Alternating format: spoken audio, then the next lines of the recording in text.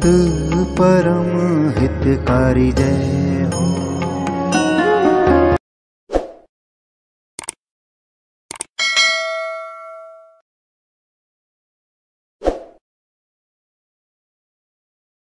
પૂર્ણ પુરુષોત્તમ ભગવાન સ્વામિનારાયણ અસંખ્ય જીવોનું આત્યંતિક કલ્યાણ કરવા માટે આ પૃથ્વી ઉપર પધાર્યા આત્યંતિક કલ્યાણ એટલે ભગવાનના શાશ્વત સુખનો શાશ્વત અનુભવ. જન્મ અને મરણ આ જીવના માથેથી કાયમ માટે ટળી જાય અને પોતે ભ્રમરૂપ થાય અને ભગવાનની સેવાનો અધિકારી બને. ભગવાનની આ અતિશય દયા છે, અતિશય કૃપા છે કે આ જીવો છે તો એને આ ત્રાસમાંથી મુક્ત કરે છે. અને એ સિવાય માણસ ગમે તેટલા પુણ્યના કર્મ કરે, પણ એનું પુણ્ય ખૂટે ત્યારે ફરી વખત પાછો મૃત્યુલોક ઉપર જન્મ ધારણ કરે છે. ક્ષીણે પુણ્ય મર્ત્ય લોકમ વિશંતિ શ્રીમદ ભગવદ્ ગીતાની અંદર કૃષ્ણ ભગવાન પોતે આ વાત સમજાવે છે. આ અભયદાન કહેવાય. અને આ સૌથી મોટા મોટું દાન છે. અને ભગવાન સિવાય આ દાન કોઈ આપી શકે નહીં. હવે એ કાર્યની અંદર એમને ઘણા બધા સંતોને તૈયાર કર્યા. જેણે કરીને એ સંતો ઘણા બધા માણસો સુધી પહોંચી શકે. અને ભગવાન સ્વામિનારાયણ છે, એમનો પરિચય કરાવી શકે, એમનો યોગ કરાવી શકે. તો એવું કહેવાય છે કે ભગવાન સ્વામિનારાયણે લગભગ ત્રણ હજાર સાધુ બનાવેલા. એમાં ગોપાળાનંદ સ્વામી એ પોતે અતિ ઉચ્ચ કોટીના સંત હતા. અહીંથી બહુ દૂર એ પ્રગટ થયા નહોતા ટોરડા ગામ છે, ઈડરની પાસે ઈડરથી પચીસ માઇલ દૂર થાય. ચાલીસ એકતાલીસ કિલોમીટરની દૂરી ઉપર આ ટોરડા ગામ આવેલું છે. એ નાના હતા તે વખતે એમનું નામ હતું ખુશાલ ભટ્ટ. એમના પિતાનું નામ મોતીરામ હતું અને એમના માતાનું નામ કુશલા દેવી હતું. ચાર વર્ષથી એમની ઉંમર થઈ તે વખતે એમના પિતા પાસે એમને સંસ્કૃતનો અભ્યાસ શરૂ કર્યો. અને ત્યાર પછી નજીકમાં એક ગામ છે નભોઈ. એમાં એક વિદ્વાન બ્રાહ્મણ હતા, એમના પાસેથી એમણે વેદાદિક શાસ્ત્રો છે, એનો અભ્યાસ કર્યો. બહુ તેજસ્વી હતા, બહુ બુદ્ધિશાળી હતા. એટલે ટૂંક ગાળાની અંદર વેદાદિક શાસ્ત્રોનો એમણે અભ્યાસ પૂરો કર્યો. અને પોતાના ગામની અંદર એક પાઠશાળાની સ્થાપના કરી, ત્યાં આગળ પણ વિદ્યાર્થીઓને પોતે સંસ્કૃતનો અભ્યાસ કરાવતા. અને સાથે સાથે ભગવાનનું ભજન, ભગવાનની ભક્તિ, કીર્તન એની અંદર પણ પ્રેરિત કરતા હતા. ગોપાળાનંદ સ્વામી ત્યાર પછી એમને સત્સંગનો યોગ થાય છે કુશાલ ભટ્ટને. અને એ પણ એક ગામ છે નજીકની અંદર વાડા સિનોર કરીને. અને એ ગામની અંદર બે સત્સંગી રહેતા હતા મુરલીધર અને કાશીરામ. એમનો સંપર્ક થયો, એમનો યોગ થયો. એમના થકી એમણે સાંભળ્યું કે પૂર્ણ પુરુષોત્તમ ભગવાન આજે મનુષ્યરૂપ ધારણ કરીને આવ્યા છે સહજાનંદ સ્વામીના રૂપની અંદર. અને બહુ ચમત્કારિક એમનું જીવન છે. આજે હજારો લોકો એમના આશ્રિત થયેલા છે. એમને જે કાંઈ અનુભવ હતો અને જે કાંઈ મહિમા એમણે સાંભળેલો હતો, એ બધી વાતો એમને ખુશાલ ભટ્ટને કરી. એ પોતે અત્યંત રાજી થયા, પૂર્વના બહુ જ સંસ્કારી હતા. ભગવાનના ધામમાંથી જ પોતે આ લોકની અંદર એક કામ કરવા માટે આવેલા હતા. પણ આ લોકની દ્રષ્ટિએ એમને ભગવાનનો મહિમા આવી રીતે સાંભળ્યો અને બે સત્સંગી ભાઈઓ હતા. એમણે ભગવાન સ્વામિનારાયણ છે, એમનો પ્રાથમિક પરિચય છે, એમને આપ્યો ત્યાર પછી એમના અંતરમાં એકદમ ઉત્કટ ઈચ્છા જાગ્રત થઈ કે મારે ભગવાન સ્વામિનારાયણના દર્શન કરવા છે. હવે એ અરસાની અંદર નભોઈ ગામમાં સ્વામિનારાયણ ભગવાન એક પરમહંસ આવેલા હતા, સર્વેશ્વરાનંદ કરીને. એમને ખ્યાલ આવ્યો, ત્યાં મળવા માટે એમને ગયા. અને મળીને એમને વિનંતી કરી કે મને આ સ્વામિનારાયણ સંપ્રદાયની અંદર પ્રવેશ આપો. વિધિ એવી હોય છે કે જે કોઈ પ્રથમ વખત સ્વામિનારાયણ સંપ્રદાયની અંદર પ્રવેશ કરે, તો આપણે સંપ્રદાયની પરિભાષામાં એવું કહીએ છીએ કે એને વર્તમાન ધારણ કરવાની વિધિ છે. એટલે વર્તમાન એમને ધરાવ્યા. વર્તમાન ધરાવ્યાનો અર્થ એવો થાય કે જમણા હાથની અંદર પાણીના પાંચ છ ટીપા મૂકે અને ભગવાનની જે શરણાગતિનો મંત્ર છે, કાળ માયા, પાપ કર્મ યમદૂત ભયાદહમ, સ્વામિનારાયણ, શરણમ પ્રપન્નોસ્મી સપાતુ મામ. એટલે હું ભગવાનને શરણે જાઉં છું, એ ભગવાન મને બધા ભય ધકી રક્ષા કરે. એ પ્રકારનો મંત્ર હોય છે.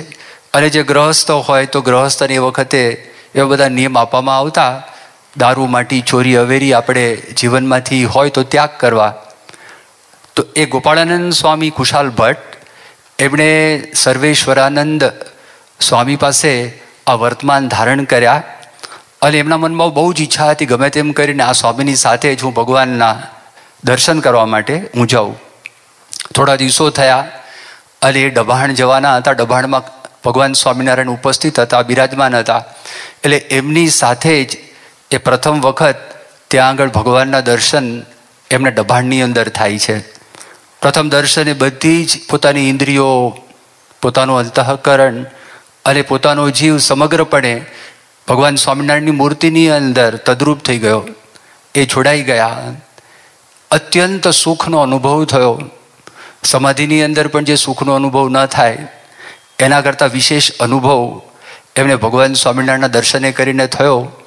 અને તે એમની પાસે રહ્યા અને વિનંતી કરી કે મને તમારી પાસે કાયમ માટે રાખો મારે તમારી પાસે રહેવું છે. તો તે વખતે ભગવાન સ્વામિનારાયણે વાત કરી, જ્યારે સમય આવશે, તો તે વખતે હું તમને બોલાવી લઈશ. હવે પાછા જાય છે ભગવાનની આજ્ઞાથી ટોરડા ગામમાં. મન તો આસક્ત થઈ ગયું હતું ભગવાનની અંદર. ભગવાન સિવાય કોઈ વિચાર એમના મનની અંદર હતા જ નહીં. એટલે ભગવાને કીધેલું કે સમય આવશે, તો તે વખતે હું તમને બોલાવી લઈશ. એક વખત એક બ્રાહ્મણ એ ગામમાં આવ્યા. વાતચીત થઈ, ખબર પડી કે ગુજરાત જવાના છે અને કદાચ ભગવાન સ્વામિનારાયણનો ગુજરાતની અંદર મને યોગ થાય એટલે બ્રાહ્મણની સાથે પોતે નીકળી ગયા. અને જ્યારે વિચરણ કરતાં કરતાં એ લોકો જેતલપુર આવ્યા. તો ત્યાં આગળ બ્રાહ્મણે વાત કરી કે અહીંયા આગળ ભગવાન સ્વામિનારાયણ છે. પણ રસ્તાની અંદર એ બ્રાહ્મણે બધી બહુ સેવા કરી. પાણી જોઈતું હોય તો કુશાલ ભટ્ટને પાણી આપે. ભોજનની વ્યવસ્થા કરી આપે. પગની અંદર કાંટા વાગે તો પગમાંથી કાંટા પણ કાઢી આપે. આ બધી ખૂબ સેવાઓ કરી અને જેતલપુરનું પાદર આવ્યું ત્યારે તે વખતે એમણે વાત કરી કે હું સ્નાન વિધિ પતાવી. અને દિશાએ જઉં છું અને પછી સ્નાન કરી. અને ભગવાન સ્વામિનારાયણના દર્શન કરવા માટે હું આવીશ, તમે ત્યાં આગળ જાઓ. ગામમાં જાય છે, તપાસ કરી. ખબર પડી કે ભગવાન સ્વામિનારાયણ અહીંયા આગળ જ છે. ભગવાન સ્વામિનારાયણને જોઈને અત્યંત રાજી થયા, પ્રસન્ન થયા. દબાણનો જે અનુભવ હતો એ પુનરાવર્તિત ત્યાં આગળ થયો. અને પછી એમણે વાત કરી કે રસ્તાની અંદર એક બ્રાહ્મણ મારી સાથે આવેલા. એ બ્રાહ્મણે મારી બહુ જ સેવા કરી. અને એ બ્રાહ્મણ હજી સુધી આપના દર્શન કરવા માટે આવ્યા નથી. મને નવાઈ લાગે છે ક્યાં ગયા હશે. તો રસ્તાની અંદર જે બધી ઘટનાઓ બનેલી હતી, એ બધી જ ઘટનાઓની વાત ભગવાન સ્વામિનારાયણે જ્યારે કરી ત્યારે કુશાલ ભટ્ટને પ્રતીતિ થઈ કે આ બ્રાહ્મણના રૂપમાં સાક્ષાત ભગવાન સ્વામિનારાયણ પોતે જ આવેલા. અને પોતે આવીને એમને ઘરમાંથી તેડી ગયા હતા. અને એમણે જ ભોજન આપેલું, એમને જ પાણી આપેલું અને પગમાંથી કાંટા પણ ભગવાન સ્વામિનારાયણે પોતે કાઢેલા હતા. એવી બધી સેવાઓ સાક્ષાત ભગવાન સ્વામિનારાયણે પોતે કરેલી હતી. આ બધી વાતો સાંભળીને કુશાલ ભટ્ટ તો પોતે એકદમ ગદગદ થઈ ગયા. એટલે થોડા વખત માટે એ ભગવાન સ્વામિનારાયણની સાથે એ ત્યાં આગળ પોતે રહ્યા. હવે કુશાલ ભટ્ટ હતા. એમનું જીવન કેવું હતું? ચમત્કારિક જીવન હતું. નાનપણથી ચમત્કારિક જીવન હતું. એક પ્રસંગ એવો થયેલો કે શામળાજીનું મંદિર છે ત્યાં આગળ, ટોરડાની પાસે. બહુ પ્રસિદ્ધ મંદિર છે. આપણે ઉદયપુરના રસ્તા ઉપર જઈએ તો રસ્તાની અંદર શામળાજીનું મંદિર આવે. એ જ મંદિરનો આ પ્રસંગ છે. અને એ મંદિરના જે ખરડાઓ છે ખરડાની અંદર આ પ્રસંગ પાછો નોંધાયેલો છે. અને યોગીજી મહારાજ જ્યારે શામળાજી મંદિરમાં દર્શન કરવા માટે ગયા હતા, તો તે વખતે યોગીજી મહારાજ એમણે આ ખરડા છે જોયેલા અને ખરડાની અંદર આ પ્રસંગ જે બનેલો એની નોંધ પણ કરેલી હતી કે ખુશાલ ભટ્ટ સાથે શામળાજીની મૂર્તિ રોજ રમવા માટે જતી હવે શયનાર્થી પતી જાય, પડદા પડી જાય, અને પછી એ જે મૂર્તિ છે એ ટોરડાની અંદર રમવા માટે જાય. અને સવારે મંગળા આરતી થાય, મંગળા આરતી પહેલાં પાછી મૂર્તિ છે, એ પોતાનું જે સ્થાન છે, એ સ્થાનમાં આવીને પછી યથાવત ત્યાં આગળ પ્રતિષ્ઠિત થઈ જાય. એક વખત એવો પ્રસંગ થયો, પૂજારી એમને કંઈક કામ પડ્યું. અને પૂજારીને વહેલા ઉઠવાનું થયું, બીજે ગામ જવું હતું, અને જ્યાં બારડું ખોલ્યું, મૂર્તિ ના મળે. એટલે એકદમ ગભરાઈ ગયા, મૂર્તિ ગઈ ક્યાં આગળ? એટલે એમણે તો બૂમાબૂમ કરી મૂકી, બધા માણસો ભેગા થઈ ગયા. અને માણસો ભેગા થઈ કે થોડોક સમય થયો અને ફરી વખત જ્યારે એ બારણા ખોલ્યા, તો તે વખતે મૂર્તિ ત્યાં આગળ હતી. એટલે બધા માણસોને શંકા પડી કે આ પૂજારીએ કંઈ કપટ કર્યું હશે? તપાસ કરી, એક જરિયાન વસ્ત્ર એ ગુમ થઈ ગયેલું, ઝાંઝર એ પણ ગુમ થઈ ગયેલા, મોજડી એ પણ ગુમ થઈ ગયેલા, એટલે બધા પૂજારીને મારવા લાગ્યા. એટલે પૂજારીને માર મારીને કહ્યું બોલ કે તમે ચોરી કરી છે? અને એના માટે તમે આ શોર બકોર મચાવેલો છે. અને પૂજારીએ બહુ કહ્યું કે ભાઈ મેં કશું કર્યું નથી. એટલે ત્યાર પછી મૂર્તિમાંથી અવાજ આવ્યો. એટલે મૂર્તિમાંથી એવો અવાજ આવ્યો કે પૂજારીનો વાંક નથી. અને હું તો ત્યાં આગળ ટોરડાની અંદર કુશાલ ભટ્ટ. એની સાથે હું રમવા જાઉં છું રોજ. અને ત્યાં આગળ નવેડાની અંદર ઝાંઝર પડેલું છે, રસ્તામાં મોજડીને જરિયાન વસ્ત્ર પણ તમને મળશે. માટે પૂજારીને તમે મારો નહીં. પછી ત્યાં માણસો મોકલે છે. અને સવારે જ્યારે કુશલા દેવી ઘરમાં સફાઈ કરતા હતા, નવેડાની અંદર ઝાંઝર જોયું, ત્યારે એમને નવાઈ લાગી. એમણે પૂછ્યું કે આ ઝાંઝર આવ્યું કેવી રીતે? ત્યારે કુશાલ ભટ્ટે વાત કરી કે જે વ્યક્તિનું છે, એના ધણી હમણાં આવશે અને ઝાંઝર લઈ જશે, માટે તમે સાચવીને રાખો. અને પછી ત્યાં શામળાજી મંદિરમાંથી એ માણસો આવ્યા. એમના ઝાંઝર આપે છે, રસ્તામાંથી મોજડી પણ પ્રાપ્ત થાય છે, અને જરિયાન વસ્ત્ર છે, એ પણ પ્રાપ્ત થાય છે. એટલે બાળપણથી હજી તો ભગવાન સ્વામિનારાયણનો એમને યોગ થયો નથી, ત્યારથી એમના જીવનની અંદર આવા ઘણા બધા ચમત્કારો બનેલા. બીજો એક પ્રસંગ એવો બનેલો, નજીકની અંદર ઈડર ગામ ત્યાંના રાજા હતા અને રાજાએ એક ટેક્સ કરેલો બ્રાહ્મણો ઉપર. વાર્ષિક ત્રણ રૂપિયાનો ટેક્સ. હવે એ વખતે ત્રણ રૂપિયા પણ લોકોને બહુ ભારે પડતા. યજમાન વૃત્તિ કરતા હોય, લોકો પૈ આપે બહુ બહુ તો કંઈક પૈસો આપે. હવે એમાંથી જો ત્રણ રૂપિયા વાર્ષિક એ રાજા ટેક્સના લઈ જાય, તો પોતાની પાસે કાંઈ રહે નહીં. એટલે રાજાને ફરિયાદ કરવા માટે બધા બ્રાહ્મણો ભેગા થઈને ગયા, પણ રાજા છે, એણે કોઈનું સાંભળ્યું નહીં. બ્રાહ્મણોના મનમાં વિચાર થયો કે આ ચમત્કારિક બાળક છે, એ બાળકને આપણે સાથે લઈ જઈએ. અને પછી ત્યાં આગળ રાજાને ફરી વખત વિનંતી કરીએ. તે કુશાલ ભટ્ટને ત્યાં આગળ લઈને ગયા. અને ફરી વખત વિનંતી કરી, વિનંતી કરીને કહ્યું કે ભાઈ, આ તમે, આ શું કરો, ટેક્સ લગાવો છો? તમે ટેક્સ છે, એ તમે રદ કરી દો. બાળક છે, આવી રીતે વિનંતી કરતા હતા. રાજાને હસવું આવ્યું. અમલદારો હતા, એમણે પણ હસવું આવ્યું. એને એમ થયું કે આ બાળક છે, હવે એને લઈને આ લોકો આવ્યા છે. એમનું પણ માન્યું નહીં. ખુશાલ ભટ્ટ કે કંઈ ચિંતા કરતા નહીં. ગામ બાર વાવ છે. આજે પણ તમે ઈડરની અંદર જાઓ ને, પ્રસાદીની વાવ છે. ત્યાં પોતે બેઠા. અને બેસીને કીધું, આપણે ભગવાનની મૂર્તિનું સ્મરણ કરતાં કરતાં ચિંતન કરતાં કરતાં ભજન કરીએ. અને કાંઈ ચિંતા કરવા જેવી નથી લોકો સામેથી આવશે.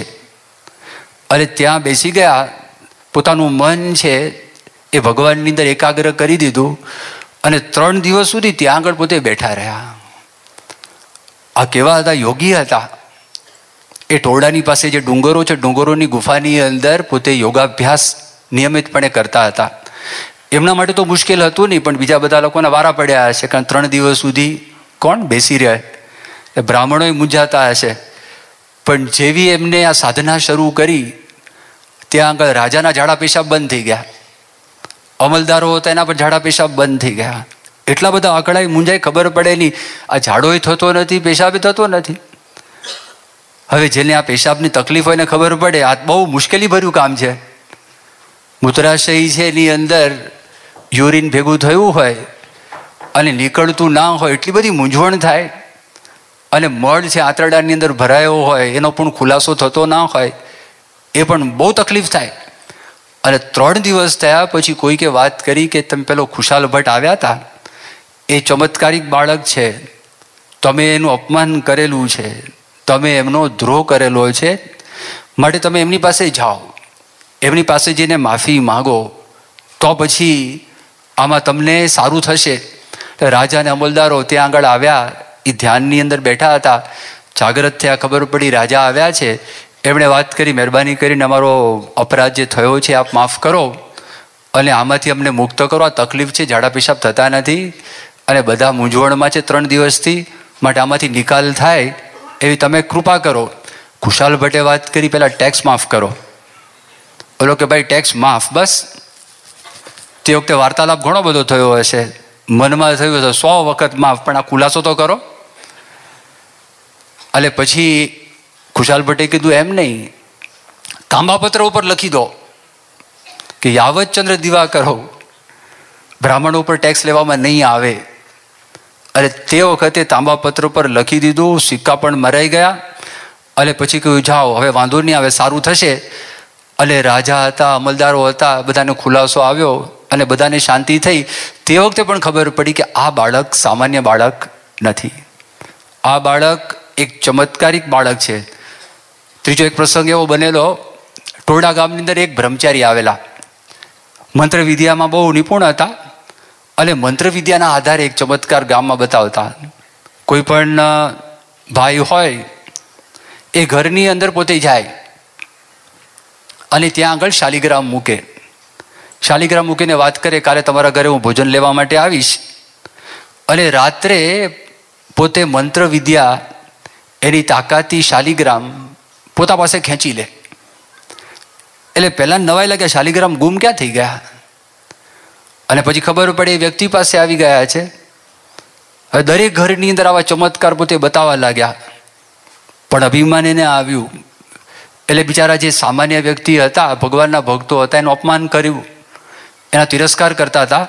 એટલે કુશાલ ભટ્ટના મનની અંદર એમ થયું કે આપણે એને આપણા ઘરે બોલાવીએ. એટલે પોતાના ઘરમાં એને બોલાવ્યા. બોલાવીને વાત કરી કે અમારે ત્યાં આગળ તમે આવો, તમને ભોજનનું આમંત્રણ છે. તમે અહીંયા ભોજન કરજો. શાલિગ્રામ મૂકીને ગયા. એટલે પોતાની મંત્ર વિદ્યાથી એ પ્રયત્ન કરતા હતા શાલિગ્રામ ખેંચવા માટે, એને ગુમ કરવા માટે. પણ આમની પાસે તાકાત, આમની પાસે શક્તિ એટલે ભગવાનની ભક્તિનું બળ, તો ગમે તેટલી મંત્ર વિદ્યા અજમાઈશ કરી, પણ સફળતા મળી નહીં. તો પેલા માણસના મનમાં એમ થયું કે આપણી નાલાશી થશે એટલે ત્યાં આગળથી પોતે ભાગી ગયા. એટલે પોતે નીકળી ગયા અને ફરી વખત ગામની અંદર પોતે દેખાયા નહીં, એટલે આ પ્રકારના ચમત્કારો તો ભગવાન સ્વામિનારાયણને મળ્યા. એ પહેલાં ચમત્કાર હતા. ભગવાન સ્વામિનારાયણ મળ્યા અને હજી પોતે દીક્ષા લીધી નથી. તે વખતનો એક પ્રસંગ બનેલો કે ભગવાન સ્વામિનારાયણ સાથે પોતે વિચરણ કરતા હતા. તે વખતે ભગવાન સ્વામિનારાયણને ખબર પડી કે મહાભારતનો એક ગ્રંથ છે. એ ગ્રંથ ભાવનગરની અંદર એક બ્રાહ્મણ પાસે છે. ગ્રંથની એમને જરૂર હતી. આમ તો જોવા માટે જઈએ તો જ્યારે ભગવાન સ્વામિનારાયણ નાના હતા અને અયોધ્યાની અંદર એમણે બધા શાસ્ત્રોનો અભ્યાસ કરેલો. બધા શાસ્ત્રો એમને હસ્તામલકવત હતા પણ ફરી વખત આ લોકની દ્રષ્ટિએ પણ પરમહંસ પાસે બધા શાસ્ત્રો છે, એમનું પોતે શ્રવણ કરતા. મહાભારત પણ ફરી વખત વાંચવાની ઈચ્છા થઈ. એટલા માટે મહાભારત લેવા માટે એમણે એક હરિભક્ત હતા લખીરામ દેરાસરી કરીને એણે વાત કરી, તમે ભાવનગર જાઓ અને ભાવનગરજીને આ મહાભારતનો જે ગ્રંથ છે ગ્રંથ તમે લઈ આવો. હવે એમની સાથે એ પોતે બીજા એક હરિભક્ત હતા. એ હરિભક્ત પ્રાગજી દવે એક જગન્નાથ પંડિત કરીને હતા. એ જગન્નાથ પંડિતને સાથે લઈને ગયા. કારણ કે એ જગન્નાથ પંડિત એ પોતે મહાભારતનો ગ્રંથ જોવે એને ખબર પડે કે આ મહાભારતનો ગ્રંથ ખરેખર ઓરિજિનલ ગ્રંથ છે. કોઈ ક્ષેપક ગ્રંથ નથી.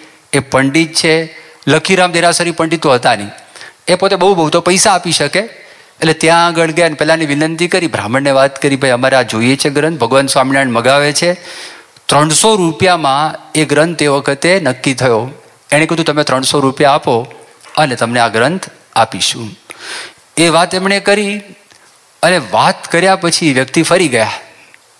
એણે કહ્યું, મારે તમને ગ્રંથ આપવો નથી. મારે આ વિદ્યા વેચવી નથી. એટલે ભગવાન સ્વામિનારાયણે આ બેની સાથે બીજી વખત પ્રાગજી દવેને મોકલ્યા. કારણ કે પ્રાગજી દવે બહુ વાચાળ હતા. નેગોશિએટ સારું કરી શકતા હતા. વાત પણ સારી કરી શકતા હતા. એટલે એમને કહ્યું, તમે જાઓ. એટલે પ્રાગજી દવે ગયા. એમણે પણ સમજાવવા માટે પ્રયત્ન કર્યો, પણ પહેલાં ફરી વખત ના પાડી એટલે પછી સ્વામિનારાયણ ભગવાનની દ્રષ્ટિ ખુશાલ ભટ્ટ ઉપર પડી. એમને કહ્યું, તમે જાઓ. એટલે તમે જઈને ગમે તેમ કરીને આ ગ્રંથ લઈ આવો. એટલે ખુશાલ ભટ્ટ ત્યાં આગળ ગયા અને ત્યાં આગળ જઈ અને પછી પેલાને વિનંતી કરી, એને કહ્યું, તમે મને આપો તો સારું એણે ના પાડી. હું કોઈ સંજોગોમાં તમને આ ગ્રંથ નહીં આપું. એટલું જ નહીં, પણ એમને કુશાલ ભટ્ટનું અપમાન પણ કરી નાખ્યું. અને પોતાના નિર્ણયની અંદર પોતે એકદમ અડગ રહ્યા. અને કોઈ પણ સંજોગોમાં તમને આપીશ નહીં. કુશાલ ભટ્ટ ત્યાં આગળ એક હરિભક્ત હતા, શ્રીમાળી ઝીણાભાઈ કરીને. એમના મકાનની અંદર પોતે ઉતર્યા અને ત્યાં આગળ ભગવાનને પ્રાર્થના કરી ખાધા પીધા વગર બે ત્રણ દિવસ સુધી એ કુશાલ ભટ્ટ ભગવાન સ્વામિનારાયણનું ચિંતન કરવા લાગ્યા કે મહારાજ આપ દયા કરો, આપ એ બ્રાહ્મણમાં પ્રવેશ કરો, તો આ કામ થશે, બાકી કામ નહીં થાય. અને એમણે કીધેલું કે આ ગ્રંથ લીધા વગર હું અહીંથી જવાનો નથી. એટલે એ બ્રાહ્મણના ઘરમાં ગયા. એ બ્રાહ્મણ તે વખતે પૂજા કરતા હતા. પૂજાની અંદર બાળમુકુરની મૂર્તિ હતી. અને એમની સામે બેસી ગયા. અને બેસી ગયા અને પહેલાં બ્રાહ્મણને તો હું પૂજા કરું છું. અરે પૂજા કર્યા પછી કંઈ વાતચીત કરીશું? અને મનમાં તો નક્કી જ હતું કે મારા ગ્રંથ આપવો જ નથી. પણ એ બાળમુકુરની જે પ્રતિમા હતી ને, એ ફરી ગઈ. એ કુશાલ ભટ્ટ તરફ ફરી ગઈ. એટલે બ્રાહ્મણના મનમાં એમ થયું કે મારે મૂકવામાં કંઈ ભૂલ થઈ હશે, એટલે ફરી વખત ગોઠવી. એ મૂર્તિને પોતાની સન્મુખ કરી. એટલે સન્મુખ કરી થોડીક વાર થઈને પાછી મૂર્તિ ફરી ગઈ. ત્રણ ચાર વખત આ થયું. એને થયું કે આ શું થાય છે? આ એમને ફરે છે કેવી રીતે? અને પછી ખુશાલ ભટ્ટે વાત કરી, તમે મહેમાનનું અપમાન કર્યું છે. અને મહેમાનનો તિરસ્કાર કર્યો છે. આતિથિ સત્કાર કર્યો નથી. એટલા માટે આ બને છે. એ પોતે ઊભા થઈ ગયા, પગે લાગ્યા, માફી માગી અને કહ્યું, આ ગ્રંથ તમે લઈ જાઓ. અને ખરેખર બહુ ચમત્કારિક પુરુષ ત્યાં આગળ આવ્યા છે. એનો ખ્યાલ એ એમને તે વખતે આવી ગયો. જો કુશાલ ભટ્ટ પોતે આવા ચમત્કારિક હતા અને પછી ભગવાન સ્વામિનારાયણ એમને દીક્ષા આપે છે, સંવત અઢારસો ને ચોસઠની સાલ. કાર્તિકનો મહિનો હતો, સુદ પક્ષ હતો, અષ્ટમીનો દિવસ હતો, ગઢડાની અંદર ખુશાલ ભટ્ટે દીક્ષા આપે છે અને દીક્ષા આપીને નામ પાડે છે ગોપાળાનંદ. અને પછી ભગવાને આજ્ઞા કરી, તમે વડોદરા રહેજો. મોટાભાગે વડોદરા પોતે ત્યાં આગળ રહેતા, આખા વડોદરા વિસ્તારની અંદર નાના મોટા વ્યક્તિઓને પોતાની શક્તિથી, સામર્થ્યથી, પોતાની ભક્તિથી એમને સત્સંગ કરાવ્યો અને ભગવાન સ્વામિનારાયણ છે, ભગવાન સ્વામિનારાયણમાં એમને જોડેલા હતા. બહુ વિદ્વાન હતા. આગળ મેં તમને જે વાત કરી, ગોપાળાનંદ સ્વામી એમણે ઉપનિષદો ઉપર ભાષ્ય લખેલું છે. એમણે શ્રીમદ ભગવદ્ ગીતા ઉપર પણ ભાષ્ય લખેલું છે. અને બ્રહ્મસૂત્ર ઉપર એમણે ટીકા લખેલી છે. અને ત્યાર પછી મુક્તાનંદ સ્વામી એના પર ભાષ્ય કરેલું છે. એટલે અત્યંત વિદ્વાન હતા. એ સામાન્ય નહોતા એટલે તમે જો કોઈ માણસ વિદ્વાન હોય, એનું એને અભિમાન આવે, એનું એને ઘમંડ આવે, એનામાં જિજ્ઞાસા વૃત્તિ ના હોય ત્યારે ગોપાળાનંદ સ્વામીનો આપણે વિચાર કરીએ તો ગોપાળાનંદ સ્વામી આવા વિદ્વાન હતા. તો પણ જિજ્ઞાસા વૃત્તિ ગોપાળાનંદ સ્વામીમાં હતી. અને પાછા કોઈ વિદ્વાન હોય તો સાધક ના હોય. પણ ગોપાળાનંદ સ્વામી એક સાધક તરીકે પણ પોતાના જીવનની અંદર બીજાને પ્રેરણા મળે તેવા બધા દ્રષ્ટાંતો ગોપાળાનંદ સ્વામીના જીવનમાં આપણને જોવા મળે છે. વચનામૃતમાં એમણે પ્રશ્ન પૂછેલા છે એ પ્રશ્નના આધારે આપણને ખબર પડે, એમની જિજ્ઞાસી વૃત્તિ, જિજ્ઞાસુ વૃત્તિનો પણ ખ્યાલ આવે. અને સાથે સાથે એ ગોપાળાનંદ સ્વામીમાં સાધકપણું હતું, એનો પણ આપણને ખ્યાલ આવે. કારેડી પ્રકરણનું ચોથું વચનામૃત છે. એ વચનામૃતની અંદર ગોપાળાનંદ સ્વામી એ પોતે જે પ્રશ્ન પૂછે છે, એ તાત્વિક પ્રશ્ન છે. કોઈ જિજ્ઞાસુ વ્યક્તિ હોય અને વાંચતા હોય કોઈ પ્રશ્ન ઉદ્ભવે તેવો ગોપાળાનંદ સ્વામી પ્રશ્ન પૂછે છે ભગવદાનંદ સ્વામીને. સ્વામિનારાયણ ભગવાને વાત કરી, સંતો, પરસ્પર પ્રશ્ન ઉત્તર કરો. એટલે ગોપાળાનંદ સ્વામી આ તાત્વિક પ્રશ્ન પૂછ્યો કે આ દેહની અંદર જીવનું જાણપણું કેટલું સમજવું? અને સાક્ષીનું જાણપણું કેટલું સમજવું? આ શરીર છે, એ શરીરની અંદર જાણપણું છે ને? આ શરીર જડ છે. એમાં જાણપણું છે. તો જાણપણું કોણું છે? જીવનું છે કે સાક્ષીનું છે? સાક્ષી એટલે ભગવાન. ભગવાન ત્યાં બેઠા છે અંદર, અંતર્યામી રૂપે. તો એમનું કોનું સમજવું? એ ભગવદાનંદ સ્વામી પ્રયત્ન કર્યો, પણ ભગવદાનંદ સ્વામી બરોબર જવાબ આપી શક્યા નહીં. એટલે ભગવાન સ્વામિનારાયણે વાત કરી કે નખથી શિખા પર્યંત બુદ્ધિ છે શરીરમાં વ્યાપીને રહેલી છે. એટલે બુદ્ધિની અંદર જીવ છે વ્યાપીને રહેલો છે.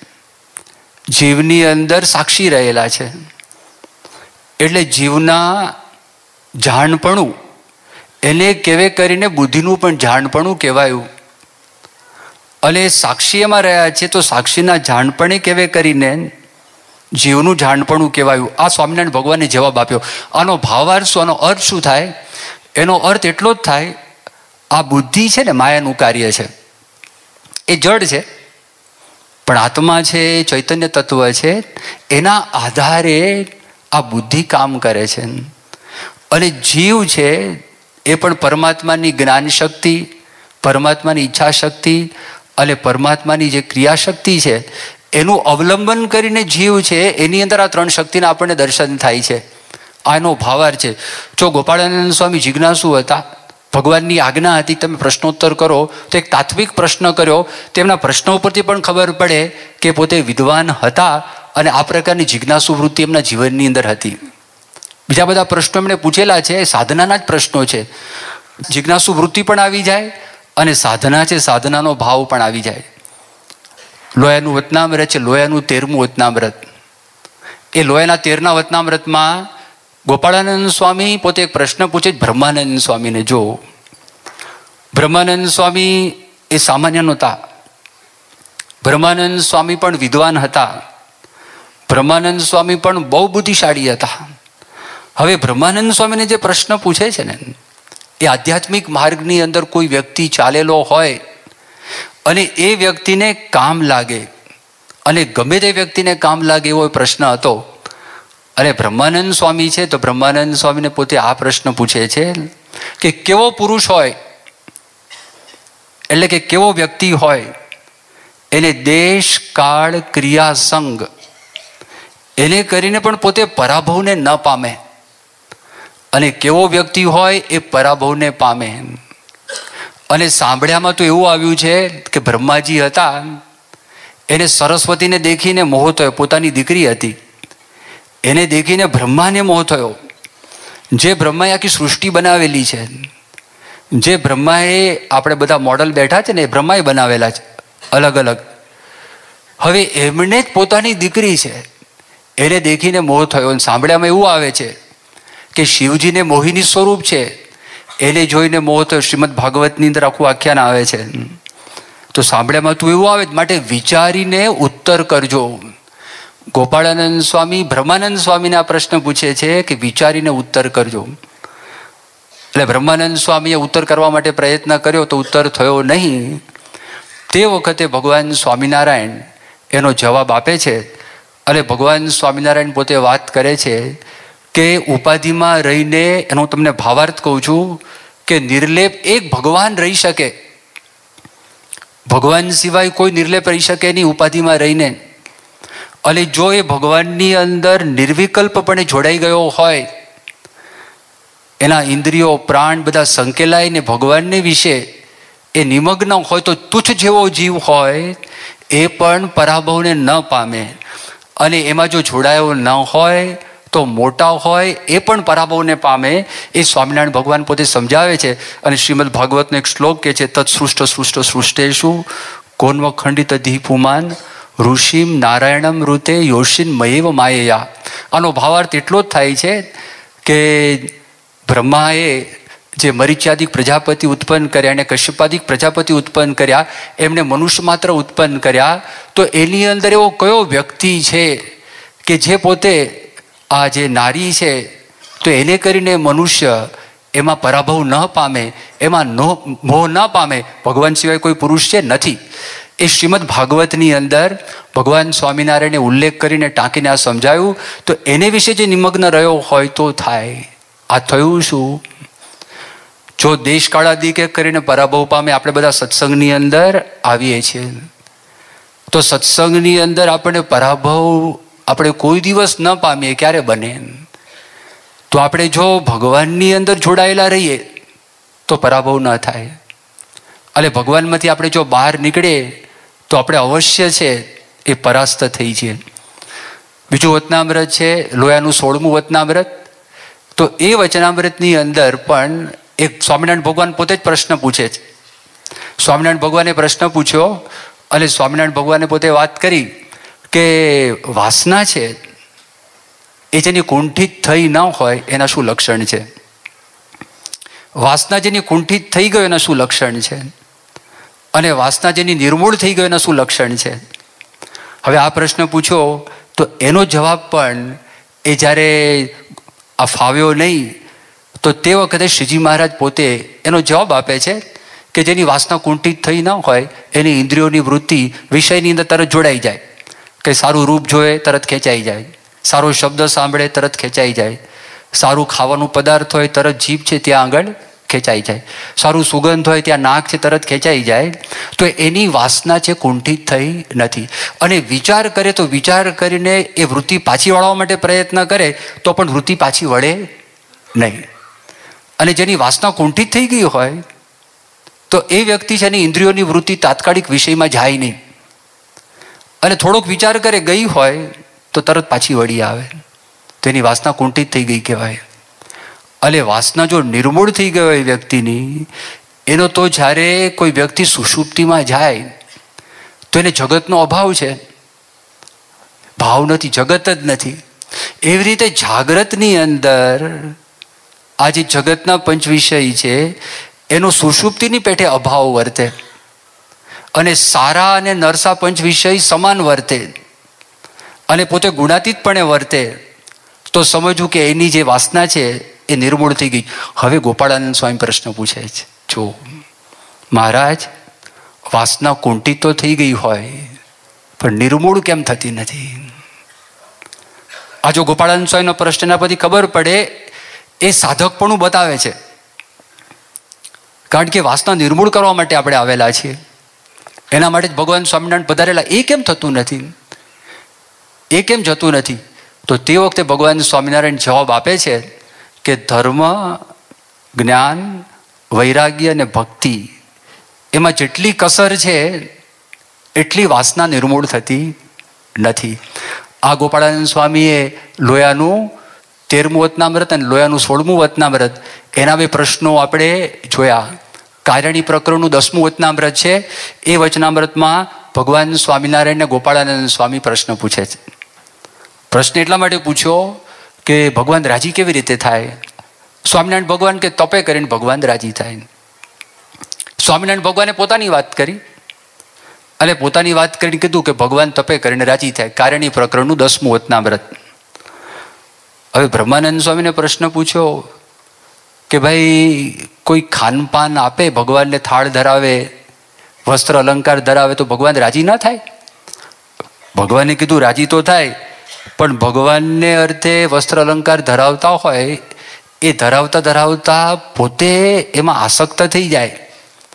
અથવા ભગવાનને થાળ સારા સારા કરતા હોય, એ થાળ કરતાં કરતાં પોતાની જીભનું એમાં પોષણ થતું હોય રસ્તા ઇન્દ્રનું પોષણ થતું હોય, તો મહારાજ કે એમાં વિઘ્ન આવે. એટલા માટે શ્રીજી મહારાજે તપ બતાવ્યું. બ્રહ્માનંદ સ્વામી કીધું, પાછા બ્રહ્માનંદ સ્વામી રાજાધિરાજ હતા. એટલે બ્રહ્માનંદ સ્વામી કે, મહારાજ, બીજો કોઈ ઉપાય ખરો? મહારાજ કે, ના, તપે કરીને જ રાજી થાય. અમે તમને જે ઉપાય બતાવ્યો ને, એ જ ઉપાય છે, બીજો ઉપાય નથી. આ વાત કરી. એટલે ગોપાળાનંદ સ્વામીને હવે પ્રશ્ન થયો. અને ગોપાળાનંદ સ્વામી પ્રશ્ન પૂછે છે, મહારાજ, તપ કરવાનો મનની અંદર ઈશક તો હોય? તપ કરવાનો મનની અંદર ઈશક તો હોય? પણ એમાં વિઘ્ન આવે તો કેમ કરવું ત્યારે સ્વામિનારાયણ ભગવાને વાત કરી, જે વ્યક્તિને જે વાતનો ઈશક હોય, એમાં હજારો અંતરાયો આવે, પણ એ અંતરાયોનો રોક્યો, રોકાય નહીં, ત્યારે જ એનો ઈશક સાચો કહેવાય. એમ કરીને સ્વામિનારાયણ ભગવાન પોતાનું દ્રષ્ટાંત આપે અમે આ સત્સંગમાં આવ્યા, રામાનંદ સ્વામીને મળ્યા, અમને એકવીસ વર્ષ થયા. આ એકવીસ વર્ષની અંદર અનંત ભાતના વસ્ત્ર અલંકાર તથા ખાનપાનાદિક એને કરીને સેવા કરનારા અનંત ભક્ત અમને મળ્યા, પણ અમારું મન કોઈ પણ પદાર્થની અંદર લોભાયું નથી, કારણ કે અમને ત્યાગનો જ ઈશક છે.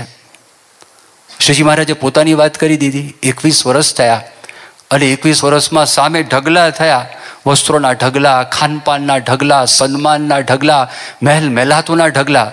પણ મહારાજે કીધું, કોઈ પદાર્થમાં અમારું મન લોભાયું નથી, કારણ કે અમને ત્યાગનો જ ઈશક છે. આ વાત એમણે કરી. હવે જો ગોપાળાનંદ સ્વામી પંડિત પણ હતા, સાધક પણ હતા. હવે કેવો પ્રશ્ન પૂછે એમાં જિજ્ઞાસા પણ છે, સાધનાની વાત પણ છે, બહુ અદ્ભુત પ્રશ્ન છે. એમણે નવાઈ લાગે છે કે શાસ્ત્રની અંદર તો ભગવાનનો મહિમા લખ્યો છે.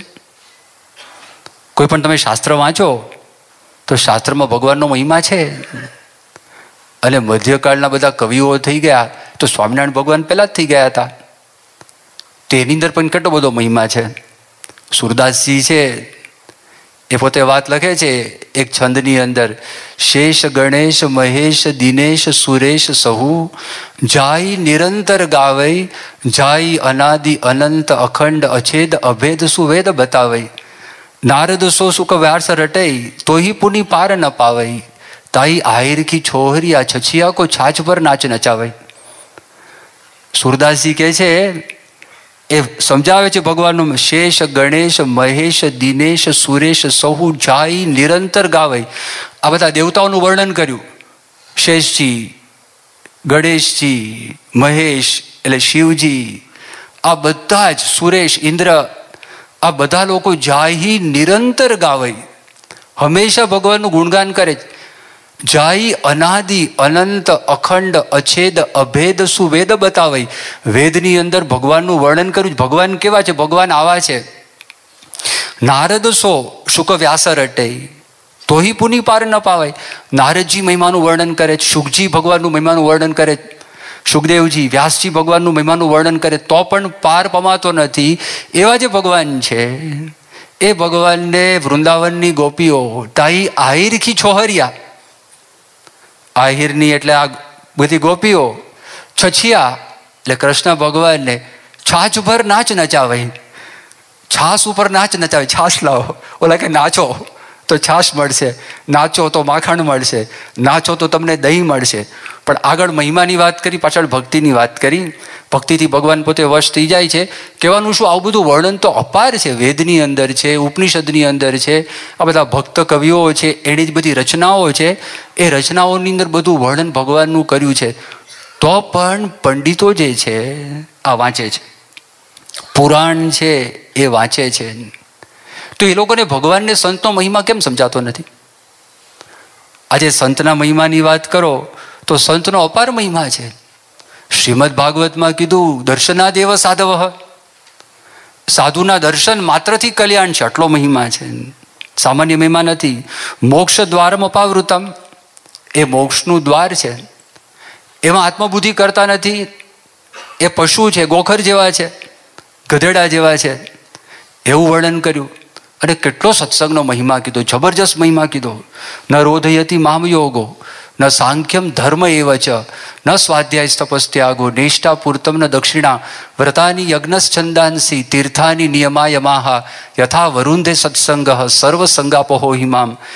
એટલો બધો મહિમા સંતનો લખેલો છે કે યોગ કરતા ભગવાન કે સંત સમાગમથી હું વધારે પ્રસન્ન થઉં, સાંખ્ય વિચાર કરતાં વધારે રાજી થઉં છું. તમે દાન ધર્માદો કરો એના કરતાં વધારે હું રાજી થઉં છું.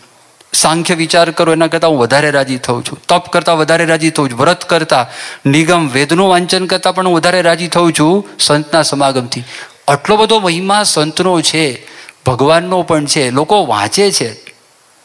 પણ કેમ મહિમા નથી સમજાતો? આ તો પ્રેક્ટિકલ પ્રસંગો બનેલા છે. યોગીજી મહારાજ મુંબઈમાં હતા. અને યોગીજી મહારાજ કિશોરભાઈ દવેના ઘરે ઉતરેલા ત્રણ ચાર દિવસ માટે. અને એક બહુ જ મોટા શાસ્ત્રી હતા, કાશીથી આવેલા હતા. અને એ વ્યક્તિ વિદ્વાન. એ વ્યક્તિએ ઇંગ્લિશની અંદર ત્રણ ચાર પુસ્તકો લખેલા ભગવાનના અસ્તિત્વ વિશે. ત્યાં બધા હરિભક્તો બેઠા હતા, થોડા ઘણા સંતો બેઠા હતા, વાત કરી, તમે કંઈ પ્રવચન કરો? એટલે એણે ઊભા થઈને વાત કરી, ભગવાન કાં હૈ? ભગવાન કિસને દેખાયેલા, તે લખ્યું શું તો પછી? આ બધું લખાણ કર્યું લખાણ પટ્ટી કોના માટે? બીજા માટે? લખે છે કોકના માટે, અસર થતી નથી. તબેતો છે ને, તબેથો. શીરો બનાવે.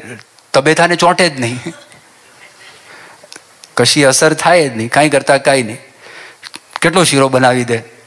હજાર મણ શીરો બનાવે, પણ એને કંઈ ચોંટે નહીં. એમ આવું છે, એટલે ગોપાળાનંદ સ્વામીને બહુ નવાઈ લાગી. એટલે ગોપાળાનંદ સ્વામી આ પ્રશ્ન પૂછ્યો. અને ગોપાળાનંદ સ્વામી કહ્યું કે આ બધા છે, શાસ્ત્રી છે, પંડિત છે, એ લોકો આ બધા શાસ્ત્રોનો અભ્યાસ કરે છે, જેમાં ભગવાનને સંતનો મહિમા લખ્યો છે. છતાં પણ આ ભગવાનને સંતનો મહિમા કેમ સમજાતો નથી? તો તે વખતે સ્વામિનારાયણ ભગવાન વાત કરે છે, વાંચન કરે છે, આ બધું કરે છે, પણ એને ભગવાનનો આશરો નથી. એ ભગવાનનો આશરો નથી, એટલા માટે કામ ક્રોધાદિક દોષે એના જીવને હરવી નાખ્યો છે. એનો પરાભવ કરી નાખ્યો છે. એનાથી એ ટળ્યા નથી. એટલા માટે એમને એવું થાય છે કે જેમ અમારા દોષો ટળ્યા નથી ને ટળતા નથી, એવી રીતે આ ભગવાન કહેવાય છે અને આ મોટા સંત કહેવાય છે, પણ એમનાએ આ દોષ ટળતા નહીં હોય. એ દોષ એમાં પલટાય છે, એને કરીને એને ભગવાનને સંતો મહિમા સમજાતો નથી. આવી રીતે ગોપાળાનંદ સ્વામી ઘણા બધા પ્રશ્નો વચનામૃતની અંદર પૂછેલા છે.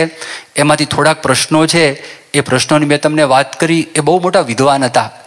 કોઈ માણસ વિદ્વાન હોય, પણ પાછો તપસ્વી ના હોય, ત્યાગી ના હોય.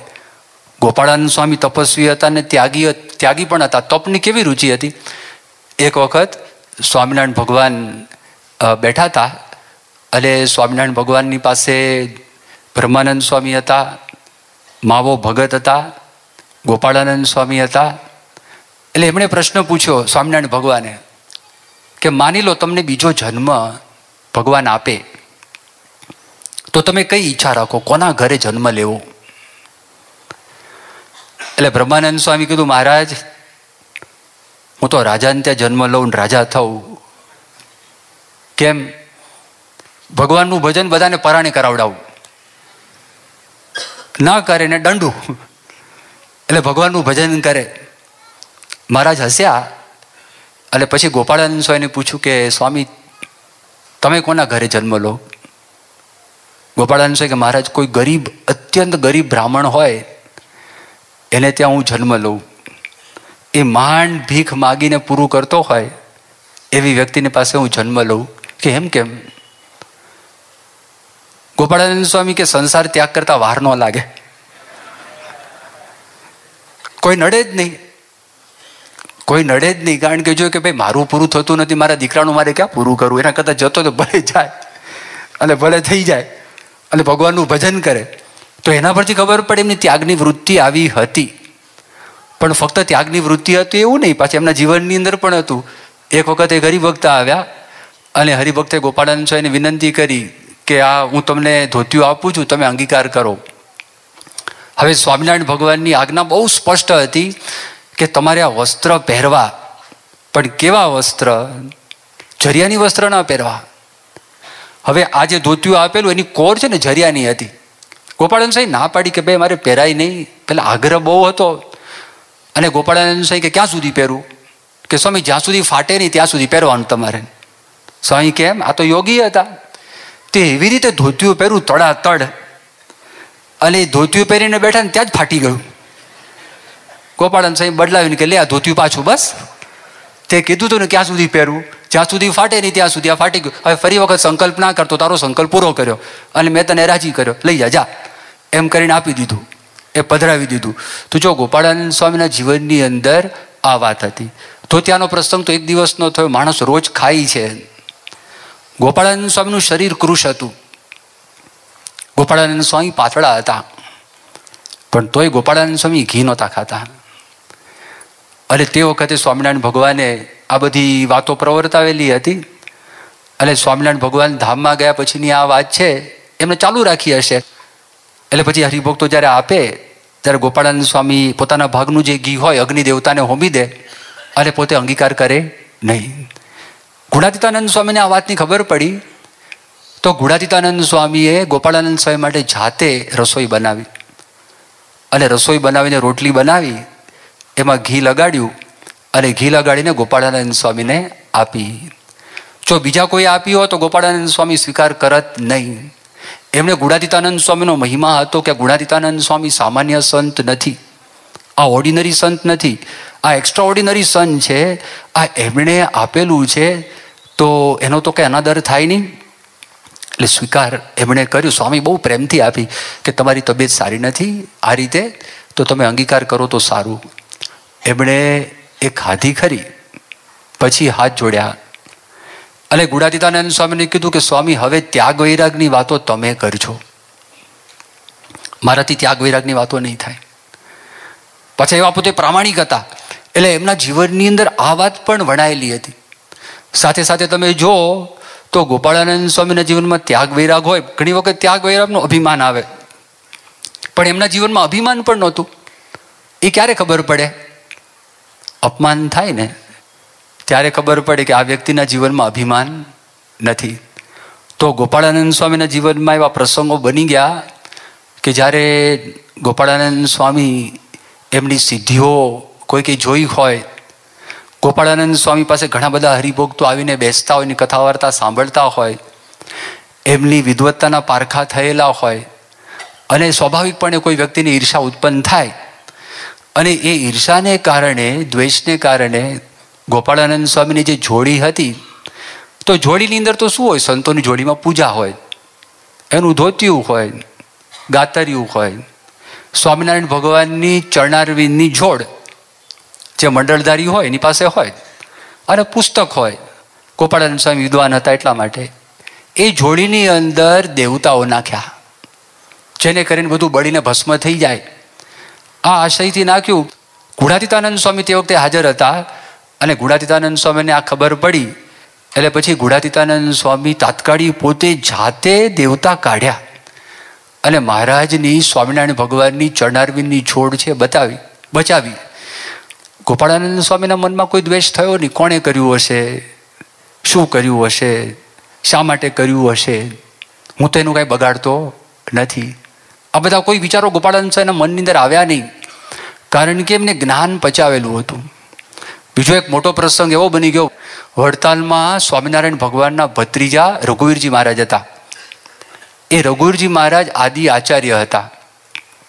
એમના મોટા ભાઈ ગોપાળજી કરીને હતા. હવે પ્રસંગ એવો થયો, કેટલાકની ચડવણીથી આ ગોપાળજી રઘુરજી મહારાજના કયામાં રહેતા નહોતા. રઘુરજી મહારાજ કે, આમ કરવાનું? ગોપાળજી ના કરે. એ કંઈક જુદું જ કરે. મનમાં બિચારાને બહુ ઉદ્વેગ થઈ ગયો. કોને કેવું? ગોપાળાનંદ સ્વામીને વાત કરી કે, સ્વામી, આ પ્રશ્ન છે. ગોપાળાનંદ છે કે, સારું. એમના શિષ્ય હતા કેશવ જીવનદાસ કરીને. એ કેશવ જીવનદાસને ગોપાળાનંદ સ્વામીએ સમાધિમાં મોકલ્યા. અને એ જેવા સમાધિની અંદર ગયા, શ્રીજી મહારાજનો સાક્ષાત પ્રવેશ થયો. એટલે હરિભક્તો બેઠા હોય તો હરિભક્તોના મનની વાતો જાહેરની અંદર કેશવ જીવનદાસ બોલવા લાગ્યા. સંતોના મનની અંદર જે વિચારો આવતા, એ વિચારોની વાતો પણ કરવા લાગ્યા. એટલે કેટલાક ત્યાં સહન થયું નહીં. કેટલાકના મનમાં એમ તો આ બધે જાહેરમાં ખોટા પાડે છે. આપણને જાહેરની અંદર હલકા પાડે છે. આ બરાબર ને એના મૂળની અંદર છે ગોપાળાનંદ. માટે ગોપાળાનંદ સ્વામીને આપણે ઠપકો આપો. પણ ગોપાળાનંદ સ્વામીને ઠપકો આપે કોણ? સ્વામિનારાયણ ભગવાન જ્યારે ધામમાં ગયા, ત્યારે સ્વામિનારાયણ ભગવાન બંને દેશના મોટેરા ગોપાળાનંદ સ્વામીને કરીને ગયા હતા. તે ગોપાળાનંદ સ્વામી ઠપકો આપે કોણ? તો ત્યાં તો કોઈ આપી શકે એમ હતું નહીં. એટલે અમદાવાદ દેશમાંથી આચાર્ય મહારાજને ત્યાં આગળ વડતાલ બોલાવવા. અને ત્યાંના સાધુઓને પણ વડતાલ બોલાવવા અને ઉત્સવની સભાની અંદર જાહેરમાં ગોપાળાનંદ સ્વામીને ઠપકો આપવો એટલું જ નહીં, ગોપાળાનંદ સ્વામીને ધોળા પહેરાવા. ભગવા લુગડા કાઢી નાખે. એની જગ્યાએ ધોળા પહેરાવા. બહુ મોટું અપમાન કહેવાય. આજે ભૂલ કાંઈ નહીં. રઘુરજી મહારાજને રાચી રાખવા માટે, એમની ઉપાધિ ટાળવા માટે ગોપાળાનંદ સ્વામીએ ચમત્કાર બતાવ્યો. એના ફળરૂપે આવું આખું તંત્ર ગોઠવાયું. હવે એ ગોઠવાય ત્યારે એક બે માણસી તો થાય નહીં. તો વડતાલની અંદર ભગવદાનંદ સ્વામી હતા. એને ઝંડો ઉપાડેલો. એમની સાથે નિત્યાનંદ સ્વામીને પણ ભેળવેલા. એમની સાથે પવિત્રાનંદ સ્વામીને પણ ભેળવેલા. આ બધાને ભેળવીને ગમે તેમ કરીને લોકોની હાજરીમાં ભલે આ લોકો કંઈ બોલે નહીં, પણ પેલા લોકો આવીને આનું અપમાન કરે. આવો એક ઠાઠ રચેલો હતો. આ વાત વાયુથી ઉપડી અને ઠેઠ જુનાગઢ સુધી પહોંચી. અને જુનાગઢ ગુણાતીતાનંદ સ્વામીના કાન ઉપર આ જ્યારે વાત આવી, ત્યારે ગુણાતીતાનંદ સ્વામીને એ વર્ષે વડતાલ જવાનો વારો નહોતો, પણ ગુણાતીતાનંદ સ્વામી એ પોતે ત્યાં આગળ વડતાલ ગયા અને વડતાલજીને ઠાકોરજીના દર્શન કર્યા. દર્શન કરીને રઘુવીરજી મહારાજને મળ્યા. રઘુવીરજી મહારાજને વાત કરી કે આ મેં સાંભળ્યું છે, એનું કેમ છે? કે સ્વામી, આમાં હું કાંઈ કરી શકું એમ નથી. આ ભેખે ઉપાધિ ઉપાડેલી છે. અને મારું કોઈ માને એમ નથી. ગુણાતાનંદ સ્વામીને થયું સારું. અને રઘુરજી મહારાજે વાત કરી, તમે નિત્યાનંદ સ્વામીને મળો. નિત્યાનંદ સ્વામી પાસે ગયા, નિત્યાનંદ સ્વામી ખુશ થઈ ગયા. નિત્યાનંદ સ્વામી કે, અકાલે જલદોદય કથમ. એટલે વાદળ છે, એ તો જ્યારે અષાઢ મહિનો આવે ત્યારે આકાશમાં વાદળ થાય. કહેવાનો ભાવાર્થ એવો હતો કે તમારે આ વર્ષે આવવાનો વારો નહોતો અને ઓચિંતી આ વરસાદની વાદળી ક્યાંથી આવી? ત્યારે ગુણાતીતાનંદ સ્વામી બોલ્યા કે આજે ગોપાળાનંદ સ્વામીનું અપમાન કરવાનો ઠાઠ રચ્યો છે ને એટલા માટે હું આવ્યો છું. સ્વામી, આ અપમાન મોટાનું થાય ઠીક નહીં. આ બરોબર નથી. ઓલા દેશના માણસોને બોલાવીને એમના થકી અપમાન કરાવવું ધડી ના ખમાય શોકના ના ખમાય. અને જો ગોપાળાનંદ સ્વામી ઉદાસ થશે અપમાનથી તો રાખના હાંડલા ફૂટી જશે. માટે ઠીક નથી, બરોબર નથી. નિત્યાનંદ સ્વામીને લાગ્યું, આ બરાબર છે, આ વાત સાચી છે. એટલે નિત્યાનંદ સ્વામીએ કહ્યું કે, સ્વામી, આમાં મને કોઈ આગ્રહ નથી. અને પવિત્રાનંદ સ્વામી સામે જોયું કે, સ્વામી, તમને શું લાગે? પવિત્રાનંદ સ્વામી કીધું, આ ગુણાદિતાનંદ સ્વામી બોલે છે, ઠીક છે. એ દેશના આવીને અપમાન કરીને આપણું હીણું દેખાય, આપણું ખરાબ દેખાય. અને સ્વામીએ કહ્યું કે ગોપાળાનંદ સ્વામીની ભૂલ તો આપણે એમને કહીએ, આપણે એમને વાત કરીએ. બહારથી શું કરો આ કાર્યક્રમ કરો છો? ત્યારે એ વાત એમના મગજમાં બેસી પવિત્રાનંદ સ્વામી કે આ વાત બરોબર છે. પણ નિત્યાનંદ સ્વામી કીધું ચલો ભગવદાનંદ બહુ ફફડ્યો છે. તમે એમને મળજો. અને નિત્યાનંદ સ્વામી કીધું, હું સભામાં નહીં આવું. અને સભામાં આવીશ તો માળા લઈને બેસી જઈશ. બધાને ખબર છે, જ્યારે મારા હાથમાં માળા હોય, ત્યારે કોઈ બોલતા નિત્યાનંદ સ્વામી બોલશે નહીં. એટલે રાજી થયા સ્વામી કે નિત્યાનંદ સ્વામીને આગ્રહ નથી, પવિત્રાનંદ સ્વામીને આગ્રહ નથી એ પણ રાજી થયા. અને ભગવદાનંદ સ્વામી ત્યાં ત્રિકુણ્યું બુરજ હતું, એમાં પોતે હતા, ગુણાતીતાનંદ સ્વામી ત્યાં ગયા અને સ્વામીને આવતા જોયા ધાબળી પાથરી. અને સ્વામીએ પગથી એ ધાબળી છે ને ફેંકી દીધી, ગુણાતીતાનંદ સ્વામી. પેલા બોલ્યા, જોગી, કેમ રૂઠ્યા? ભગવદાનંદ બોલ્યા કે, જોગી, કેમ રૂઠ્યા? જ્યારે ગુણાતીતાનંદ સ્વામી કે, આ શું તમે લઈને બેઠા છો? ગોપાળાનંદ અપમાન કરવાનું? ત્યારે એમણે કીધું કે, સ્વામી, એ તો કરવું જ પડશે. એ કરવું જ પડશે કારણ કે ગોપાળાનંદ સ્વામીએ બધાને ખોટા કરી દીધા. અને સ્વામિનારાયણને ભૂત ઠેરવે જેવું થયું છે. ત્યારે ગુણાતીતાનંદ સ્વામી ભાવમાં આવી ગયા. તમે સમજતા નહીં કે ગોપાળાનંદ સ્વામી એકલા છે, યાદ રાખજો. અહીંયા તું મોટેરો છું, અક્ષરધામમાં હું મોટેરો છું. તને તડકે ઊભો રાખીશ. પેલા ભણેલા હતા ભગવદાનંદ એ ભગવદાનંદે વાત કરી કે અક્ષરધામમાં તડકો છે, તારા માટે અન્યથા કરતું શક્તિ મહારાજ વાપરીને નવો ઊભો કરશે. જા. પછી જોયું કે સ્વામી ખરેખર આ તો આવી ગયા ભાવમાં. અને જોગી છે જ. આ તો સામાન્ય છે જ નહીં. હા જોડ્યા સ્વામી, આપ રાજી કેવી રીતે થાવ? રાજી, તમે કાલે સભામાં નહીં આવતા. કારણ કે તમારી પ્રકૃતિ એવી છે ને, તમે આવશો ને બોલ્યા વગર રહેવાશે જ નહીં. માટે તમે આવતા જ નહીં સભામાં. સારું, હું નહીં આવું. આ બધું પત્યું ને પછી ગોપાળાનંદ સ્વામી પાસે ગયા. ગોપાળાનંદ સ્વામી સ્વામીને જોઈને બહુ રાજી થયા. અને આખી વાત કરી કેવો પ્રસંગ બન્યો. ગોપાળાનંદ સ્વામી અત્યંત પ્રસન્ન થયા મનની અંદર.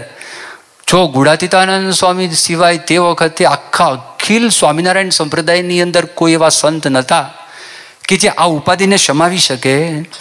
અને ઉપાધિ સમાવી અને બીજે દિવસ સભાની અંદર આખો પ્રસંગ બન્યો. ગુડાદિતાનંદ સ્વામી આખો પ્રસંગ ડાયવર્ટ કરી દીધો.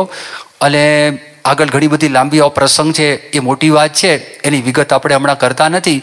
પણ કહેવાનું શું કે આ ઉપાધિની અંદર ગોપાળાનંદ સ્વામી શાંત હતા. અવડું મોટું અપમાન થયું. યાદ રાખજો, શ્રીજી મહારાજે જે વ્યક્તિને બંને દેશના મોઢેરા કર્યા હોય, હવે એ વ્યક્તિનું મહારાજના ગયા પછી આ પ્રકારનું એક તંત્ર રચાય. અને એ તંત્રની અંદર પણ જ્યારે ખબર પડે કે જ્યારે બહુ મોટા સંતો, બહુ મોટી કક્ષાના સંતો, હવે એ સંતોને પણ વાતો કરી કરીને ભોળવી અને એની સાથે સહકાર આપવા માટે તૈયાર કર્યા હોય, તો તે વખતે ગોપાળાનંદ સ્વામીના અંતરની અંદર કેટલો બધો ક્લેશ ઉત્પન્ન થવો જોઈએ? પણ ગોપાળાનંદ સ્વામીના જીવનમાં ક્લેશ ઉત્પન્ન થયો નહીં. એવા પાત્ર હતા.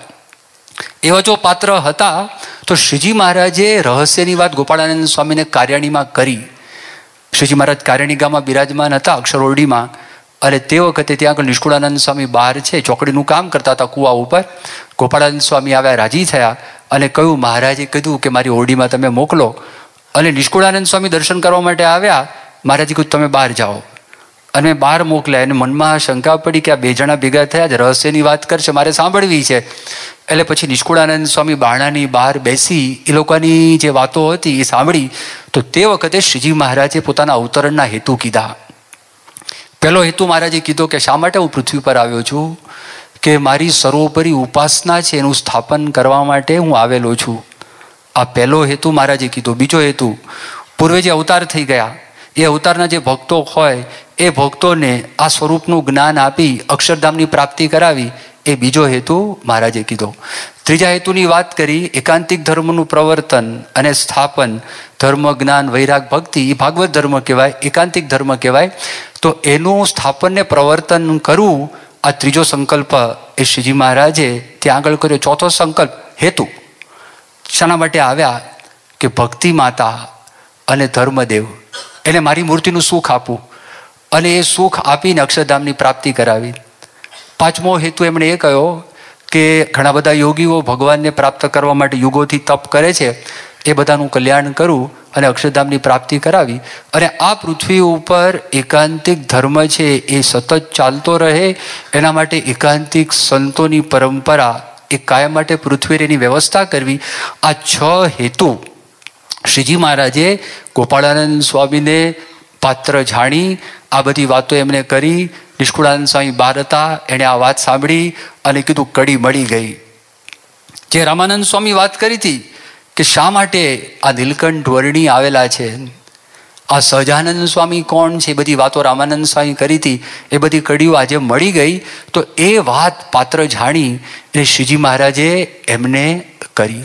જો ગોપાળાનંદ સ્વામીની સામર્થ્ય એ પણ જબરજસ્ત મોટી સામર્થ્ય હતી, એ સામાન્ય સામર્થ્ય નથી.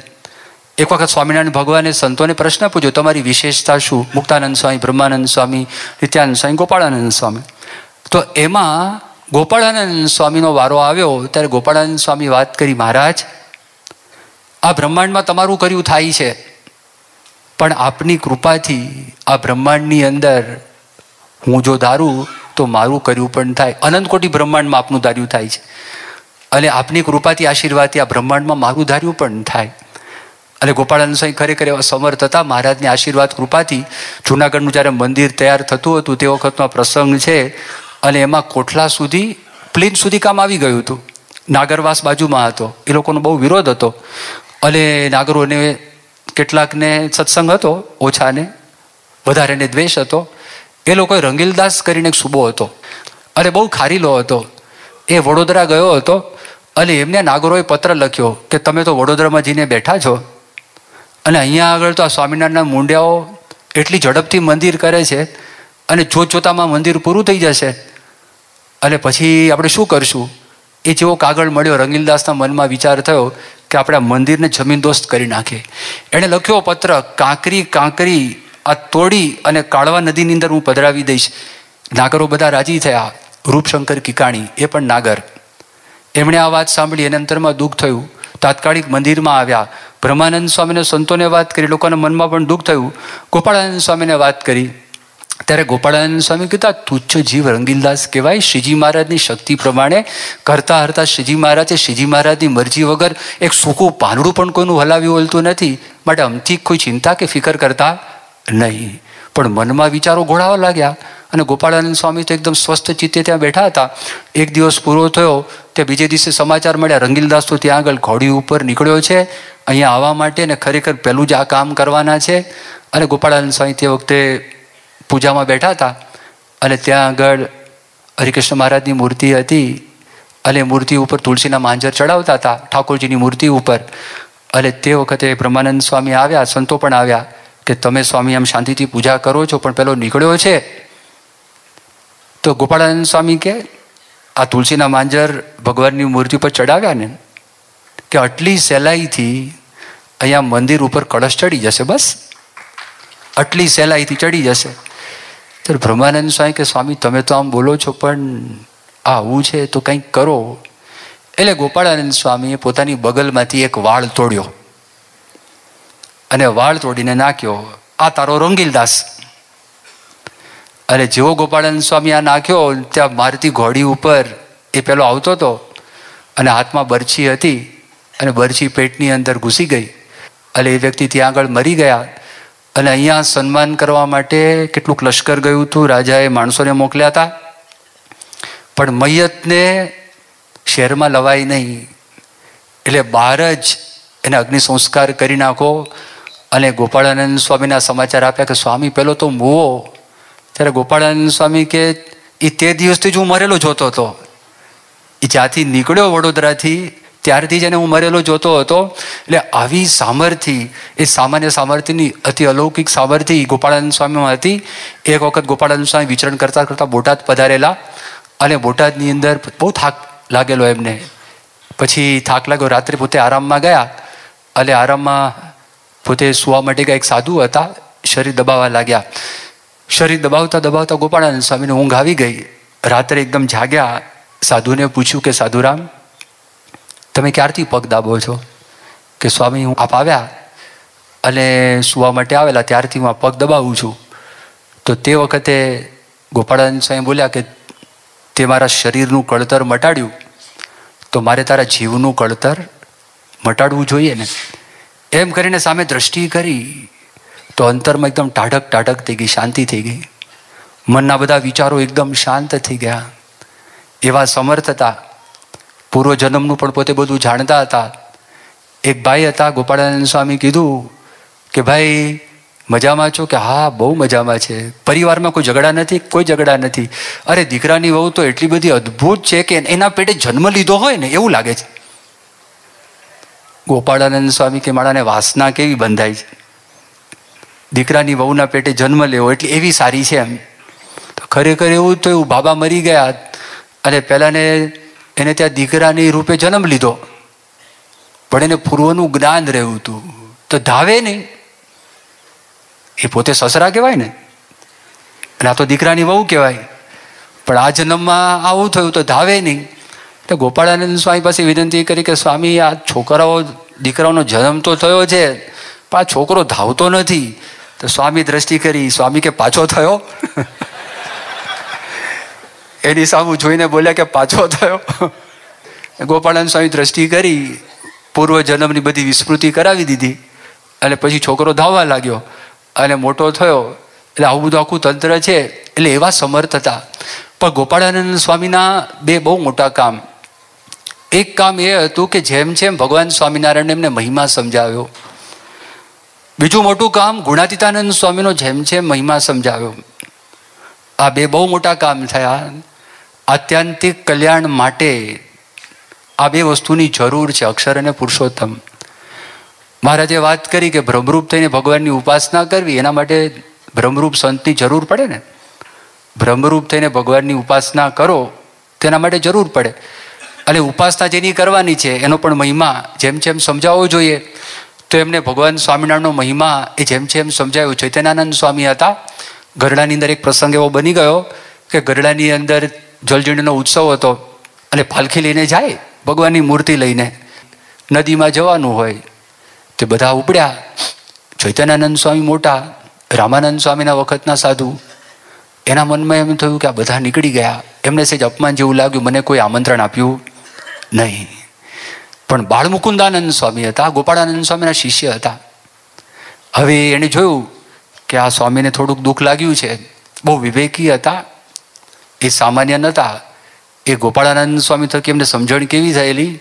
મેં તમને રંગીલદાસનો પ્રસંગ કીધો, તો તે વખતે બાળમુકુંદાનંદ સ્વામી જુનાગઢમાં હતા. અને કોઈકે વાત કરી કે બધા ફફડી ગયા સ્વામી, તમને કાંઈ થતું નથી? ત્યારે બાળ મુકુંદાનંદ સ્વામી બોલ્યા, બીજા બધા તો બેલા એટલે પથરા. એ પોતાના હૈયા ઉપર ખડકે છે. અને હું તો હૈયાની અંદર શ્રીજી મહારાજની મૂર્તિ રાખીને બેઠો છું અને બધા બેલા તો બહાર રાખું છું. એવી સમજણ તો એમને હતી. એટલે એમણે ચૈતન્યાનંદ સ્વામીને જોયા. એને થયું કે આ ગડબડ થઈ છે, એટલે રોકાઈ ગયા. અને કહ્યું કે સ્વામી, કે આપ કેમ ગયા નથી? કે આ બધા લોકો જતા રહ્યા છે. બધી વાત થઈ હશે. એ નાના હતા. અને એમણે ચૈતન્યાનંદ સ્વામીને વાત કરી, સ્વામી, આપણે માન માટે સાધુ થયા છીએ? અલા છોકરા, તને આ જ્ઞાન કોણે આપ્યું? કે મારા ગુરુ ગોપાળાનંદ સ્વામી છે, કે મારી પાસે મોકલ છે. હવે આ તો સદગુરુ હતા. ગોપાળાનંદ સ્વામી ઉંમરમાં નાના હતા. એટલે પોતાને ત્યાં આગળ બેઠા, ગાદી ઉપર બેઠા અને ગોપાળાનંદ સ્વામી નીચે બેઠા. અને ગોપાળાનંદ સ્વામી સ્વામિનારાયણ ભગવાનના મહિમાની બધી વાતો કરી, બહુ ગમી. કોણ સ્વામિનારાયણ છે? તમે જેની પાસે રહો આ ચૈતન્યાનંદ સ્વામી એવા હતા કે સ્વામિનારાયણ ભગવાન પાસે બધા હરિભોગતો પદાર્થ આપે, તો જેમ ઓક્ટ્રોય નાખવું હોય ને ને કસ્ટમ ઇમિગ્રેશન આવે ને, તે કસ્ટમમાં આપણે માલ ચેક થાય ને રોકાય. એમ ચૈતન્યાનંદ સ્વામી છે ને, એ માલ બધો રોકતા. એમને જે ગમે એ રાખે, પછી બધો વધેલો સ્વામિનારાયણ ભગવાનને આપે. એવા હતા. વિચાર કરો. હવે એમની પાસે વાત કરવાની હતી. એ સમજાવો સ્વામિનારાયણ કોણ છે? બહુ રાજી થયા. કાલે ફરી વખત આવજો. બંને આસન સરખા રાખ્યા ઊંચાઈમાં. બહુ રાજી થયા. પછી ત્રીજે દિવસે બોલાવ્યા. ત્રીજે દિવસે પોતે નીચે બેસી ગયા. ગોપાળાનંદ સ્વામી ઉપર બેસાડ્યા. અને ગોપાળાનંદ સ્વામી સર્વોપરીપણાના મહિમાની બહુ વાતો કરી. જીવમાં નિષ્ઠા બેઠી. આ તો સર્વોપરી છે. સર્વ અવતારના અવતારી છે. રામકૃષ્ણાદિક અવતારના કારણ છે. એમાંથી જ બધા અવતારો ઉત્પન્ન થયા છે. અને એમાં જ લીન થવાના છે, આ બધી વાતો સાંભળી બહુ રાજી થઈ ગયા. અને પછી ભગવાન પાસે ચેતનાનંદ સ્વામી પ્રાર્થના કરતા કે બાર વર્ષ ગુરુ રહ્યો, બાર વર્ષ સદગુરુ રહ્યો. પણ સાધુ તો હું આજે થયો છું. માટે હે મહારાજ, તમારા સાધુ ઓળખાયા નથી, તમારા સાધુ મને ઓળખાવજો. આ વાત એમણે કરી. એટલે એમના જીવની અંદર શ્રીજી મહારાજ સર્વોપરી ભગવાન છે. આ વાતની દ્રઢતા કરાવી. મેંગણીના દરબાર માનસિંહ એને સમાધિ કરાવીને કથા વાર્તા કરી. શ્રીજી મહારાજ સર્વોપરી ભગવાન છે. એ વાતની દ્રઢતા એમને પણ કરી. ઓગણીસો ને આઠની સાલની અંદર, સંવત ઓગણીસો ને આઠમાં સ્વામિનારાયણ ભગવાને સ્વપ્નમાં દર્શન દઈને કહ્યું કે, તમે જેમ જેમ મારો મહિમા જાણો છો, કેમ પ્રવર્તાવતા નથી? અને તમે જો આ વાત નહીં કરો જેમ છે એમ, તો હજાર વર્ષ પછી પણ તમારે જ આ વાત કરવાની છે. એટલે પછી ગોપાળાનંદ સ્વામી ઉમરેટની અંદર રઘુરુજી મહારાજની ઉપસ્થિતિમાં, અખંડાનંદ બ્રહ્મચારીની ઉપસ્થિતિમાં, મોટા મોટા સદગુરુ, સંતોની ઉપસ્થિતિમાં, હરિભક્તોની ઉપસ્થિતિમાં જેમ જેમ વાતો કરી અખંડાનંદ બ્રહ્મચારીને ઝાડા થઈ ગયા. એ પછીની વાત, આ વાતથી ઝાડા થઈ ગયા. રઘુરજી મહારાજને વાતની ખબર પડી. રઘુરજી મહારાજ એમની પાસે આવ્યા અને રઘુરજી મહારાજે પછી એમને બધું સમજાવ્યું અને કહ્યું, બ્રહ્મચારી મહારાજ તમે જેમ સમજો છો એમ અમે સમજીએ છીએ. ગોપાળાનંદ સ્વામી તો યોગી છે. એ તો કઈ કળામાં ખેલતા હોય એ આપણને ખ્યાલ આવે નહીં. એ આપણને ખબર પડે નહીં માટે તમે જેમ સમજો છો એમ. ત્યારે માંડ માંડ એમને ટક્યું ને રાહત થઈ ઝાડા મટ્યા. હિમરાજ શાહ હતા તો હિમરાજ શાહને ગોપાળાનંદ સ્વામી ચમત્કાર બતાવ્યો અને નાડી જોવા માટે આવ્યા. એ તો વૈષ્ણવ હતા. અને શરીરમાં નાડી ખેંચી અને નખમાં મૂકી દીધી. અને કાંઈ શરીરમાં નાડી મળે નહીં. એમને એમ થયું, અષ્ટાંગ યોગ સિદ્ધ કર્યો હોય, એને આ કળા ફાવે. એ આ કરી શકે. કૃષ્ણ ભગવાન અષ્ટાંગ યોગ સિદ્ધ કરેલો. સાક્ષાત કૃષ્ણ છે. મારી ભક્તિ જોઈને મને દર્શન દેવા માટે આવ્યા છે. તે વખતે એમણે કીધું કે હું તો સ્વામિનારાયણ ભગવાનનો દાસ છું, સેવક છું. મારા જેવા પાંચસો પરમહંસો છે. આ વાત કરી હિમરાજ શાંતિ મળું આ શું?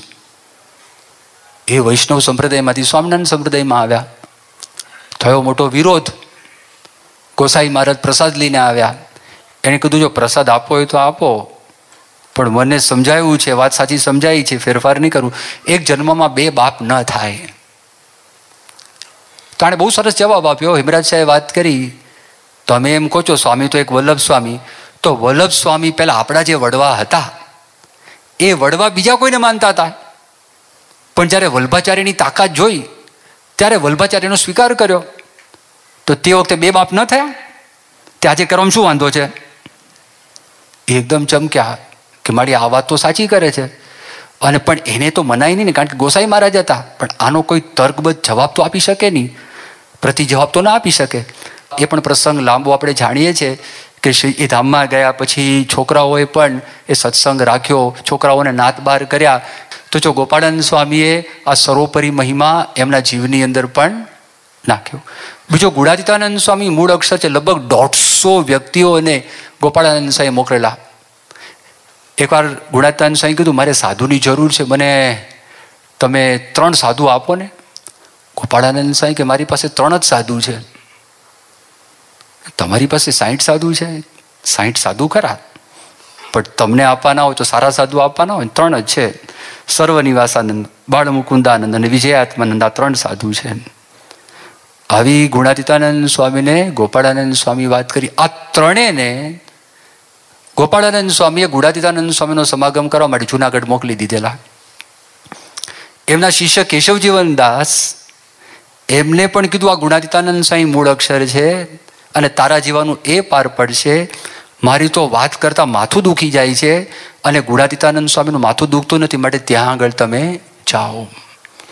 પોતા કરતાં ગુણાતીતાનંદ સ્વામી અધિક છે એવા પ્રસંગો ગોપાળાનંદ સ્વામીએ છડે ચોકે કહેલા. એમાં એક પ્રસંગ એવો બનેલો કે એક વખત ગુણાતીતાનંદ સ્વામી પાસે ગોપાળાનંદ સ્વામી જુનાગઢ ગયેલા.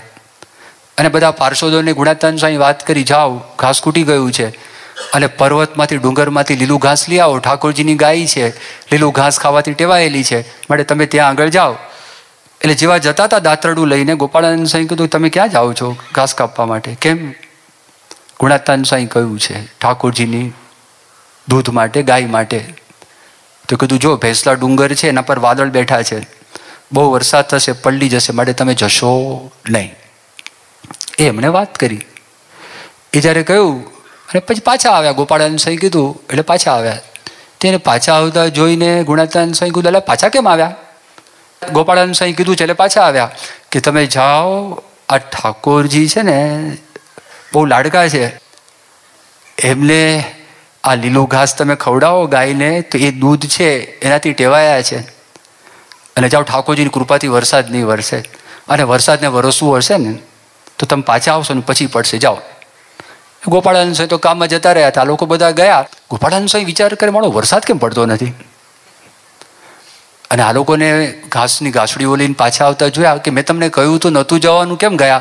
કે, સ્વામી, તમે ના પાડી હતી, પણ ગુણાતીતાનંદ સ્વામી કહ્યું, એટલે અમે ગયા. હા. ગોપાળાનંદ સ્વામી કે, મારું વચન તો એક જોગી જ ફેરવી શકે, ગુણાતીતાનંદ સ્વામી ફેરવી શકે, બીજો કોઈ ન ફેરવી શકે. આ એમણે વાત કરી ત્યાં આગળ, આ પ્રસંગ બન્યો. બીજો પ્રસંગ મહિમાનો એમણે કીધેલો, એ ગરડાની અંદર કે શ્રીજી મહારાજે કાળુપુરમાં મંદિર કર્યું, એના મહંત કર્યા સર્વજ્ઞાનંદ સ્વામીને. ભુજમાં મંદિર બીજું કર્યું, એમના વૈષ્ણવાનંદ. ધોળેરામાં ત્રીજું કર્યું, અદ્ભુતાનંદ. ચોથું કર્યું, એમણે વડતાલની અંદર અક્ષરાનંદ. પાંચમું મંદિર એમણે કર્યું, જુનાગઢમાં ગુણાતીતાનંદ. અને છઠ્ઠું કર્યું, ગરડાની અંદર વિરક્તાનંદ. તો આ છ માંથી વ્યવહાર કરતા કોને આવડ્યો? તે અલગ અલગ નામ પડ્યા. અત્યારે ગોપાળાનંદ સ્વામી એ લોકોને વ્યવહાર શું, ધૂળ આવડ્યો? ખરો વ્યવહાર તો ગુણાતીતાનંદ સ્વામીને કરતા આવડ્યો. કારણ કે આ ગુણાતીતાનંદ સ્વામી નાગરોની ઉપાધિમાં મંદિર પૂરું કર્યું. મંદિરનો વ્યવહાર સુધાર્યો. આખા સોરઠની અંદર સત્સંગ ફેલાવ્યો. સાધુઓને ધર્મ નિયમની અંદર વર્તાવ્યા. આચાર્ય રઘુવીરજી મહારાજને રાજી કર્યા. અખંડ કથા વાર્તા કરી અને એક ક્ષણ પણ ભગવાનની મૂર્તિનું વિસ્મરણ મને થવા દીધું નથી. માટે આવા સાધુ આખા સત્સંગની અંદર આવા સદગુરુ કોઈ નથી. એ કેવા છે? સર્વજ્ઞ છે, સર્વદક્ષ છે અને ધન્વંતરી વૈદ છે. આ બધી વાતો ગોપાળાનંદ સ્વામી કરી. ભગતજી મહારાજ જે આપણી ગુરુ પરંપરામાં આવે, એ ભગતજી મહારાજને ગુણાતીતાનંદ સ્વામી પાસે મોકલનારા ગોપાળાનંદ સ્વામી. એ તો ગોપાળાનંદ સ્વામીમાં જોડાયેલા હતા. અને ગુણાતીતાનંદ સ્વામી પાસે મોકલનારા એ જાગા ભગતને મોકલનારા, એ જણાભાઈ રાઠોડને મોકલનારા, એ શિવલાલ શેઠને મોકલનારા ગોપાળાનંદ સ્વામી. અને ગોપાળાનંદ સ્વામી જ્યારે અંત સમય આવ્યો, તો તે વખતે ગોપાળાનંદ સ્વામી પાસે બધા હરિભક્તોએ વિનંતી કરી કે, સ્વામી એક વખત વડોદરા સામુ દ્રષ્ટિ કરો. ત્યારે ગોપાળાનંદ સ્વામી કે, અત્યારે વડોદરા સામુ દ્રષ્ટિ ના હોય અત્યારે તો શ્રીજી મહારાજે અક્ષરધામમાં બિરાજમાન ત્યાં આગળ, અથવા તો જુનાગઢની અંદર મૂર્તિમાન અક્ષરધામ ગુણાદિતાનંદ સ્વામી ત્યાં દ્રષ્ટિ હોય. બીજે કોઈ દ્રષ્ટિ હોય નહીં. અને સમત ઓગણીસો ને આઠની સાલમાં ગોપાળાનંદ સ્વામી એ પોતે તેર દિવસના ઉપવાસ થયા. ઉમરેઠમાં આખો જે પ્રસંગનું મેં વર્ણન કર્યું, પછી પોતે ઉદાસ થઈ ગયા, ગળામાં રથવાની ફોડકી થઈ, તેર દિવસના ઉપવાસ થયા. અને એમણે ત્યાં આગળ દેહ એ વડતાલની અંદર એ મૂક્યો અને પોતે તિરોધાન થયા, સ્વતંત્ર થકા, અક્ષરધામમાં પોતે પધાર્યા. આ બહુ મોટું એમણે કામ કર્યું. હવે આ ગોપાળાનંદ સ્વામીનું આપણે જીવનચરિત્ર સાંભળ્યું. તો એમાંથી આપણે બોધપાઠ શું લેવાનો? તો બોધપાઠ એ લેવાનો કે ગોપાળાનંદ સ્વામી આટલા બધા મોટા હતા. પણ ગોપાળાનંદ સ્વામી શ્રીજી મહારાજના દાસ થઈને રહ્યા. જ્યારે હેમરાજ શાહનો પ્રસંગ બન્યો, એમણે કીધું કે મારા જેવા પાંચસો છે. એ એમણે વાત કરી. આ બહુ મોટી વાત છે. એટલે ગમે તેટલી મોટી પ્રાપ્તિ આપણને થાય, તો સ્વામી સેવક ભાવ આપણી જે ઉપાસના છે એનો ભંગ થવો જોઈએ નહીં. આપણા જીવનમાં કોઈ અભિમાન આવવું જોઈએ નહીં. બીજી વાત, પ્રગટ ભગવાન છે ઓળખી, એમાં જોડાવવું જોઈએ. પ્રગટ ભગવાનનું સ્વરૂપ હોય, એમાં ઓળખાવવું જોઈએ. એમાં ગુણાતીતાનંદ સ્વામીને ઓળખાણ આપી, તો એ પરંપરા આખી ચાલી. એ પરંપરામાં ભગતજી મહારાજ, શાસ્ત્રી મહારાજ, યોગીજી મહારાજ, પ્રમુખ સ્વામી મહારાજ આપણને પ્રાપ્ત થયા. એમાં આપણે જો જોડાઈ જઈએ, તો ગોપાળાનંદ સ્વામીએ જે બધી આગળ વાતો કરી પહેલાં જીવનું કળતર મટાડ્યું, અને મટાડીને એમને આગળની વાત પણ કરવાની હતી. જે વાસના નિર્મૂળ થવાની વાત છે, એ ગુણાતીત સંતમાં જોડાય, તો નિર્મૂળ થાય એવો યોગ એ ગોપાળાનંદ સ્વામીએ બતાવ્યો, ચીંધ્યું. એટલે આપણે જો મન કર્મ વચ્ચે પ્રમુખ સ્વામી મહારાજમાં જોડાઈ જઈએ, તો આપણને એકાંતિક ધર્મ સિદ્ધ થાય. આપણી વાસના પણ કુંઠિતની પણ આપણી વાસના પણ નિર્મૂળ થાય. આપણે ભ્રમરૂપ થઈ જઈએ અને મહારાજની સેવાના અધિકારી બનીએ. તો આજના દિવસે આપણે ગોપાળાનંદ સ્વામીનું આખ્યાન સાંભળ્યું. મહારાજ સ્વામી, પ્રમુખ સ્વામી મહારાજના ચરણોમાં પ્રાર્થના કરીએ.